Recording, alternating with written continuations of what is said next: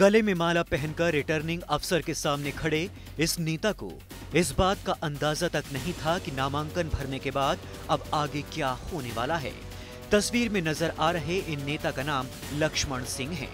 लक्ष्मण सिंह को बीएसपी ने अलवर के रामगढ़ सीट से अपना उम्मीदवार बनाया था। कुछ दिन पहले ही बीएसपी अध्यक्ष मायावती ने राजस्थान में कई चुनावी रैलियाँ की थी, लेकिन किसी को इस बात का अंदाज़ा तक नहीं था।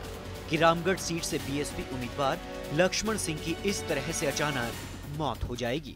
बीएसपी के उम्मीदवार की मौत की वजह हार्ट अटैक बताई जा रही है। फ़िलहाल रामगढ़ सीट पर चुनाव स्थगित कर दिया गया है। अगर किसी कैंडिडेट की डेथ हो जाती है नॉमिनेशन के बाद तो पोलिंग है, वो स्थगित कर दी जाती है रिटर्निंग अधिकारी द्वारा।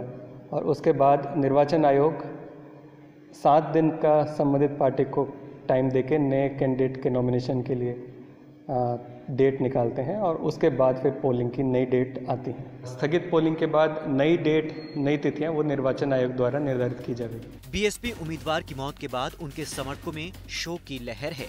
मृतक नेता को राजनीतिक दल के नेता श्रद्धांजलि दे रहे हैं। रामगढ़ सीट पर फ़िलहाल चुनाव स्थगित हो गया है। अगला उम्मीदवार तय होने पर ही यहाँ चुनाव की नई तारीख का ऐलान होगा।